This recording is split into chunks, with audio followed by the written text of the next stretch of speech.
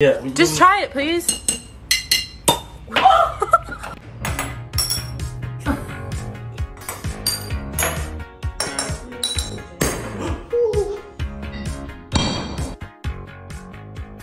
This hack is a scam and it's also extremely risky.